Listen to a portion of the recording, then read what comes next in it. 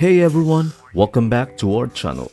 Today, I will walk you through how to find and use elements on Canva for mobile. So let's dive right into it. To begin with, open your Canva application and tap on the plus icon located below to create a new canvas. Pick the size that perfectly fits your project's requirements. Now, click on the plus icon in the left corner and select Elements. Here is where the magic happens. You have an extensive selection of elements to choose from your project.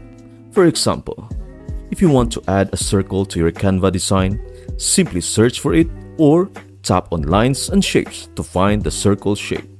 Once you have added the circle, you can easily customize it and add text or any other elements you desire. But wait, there's more.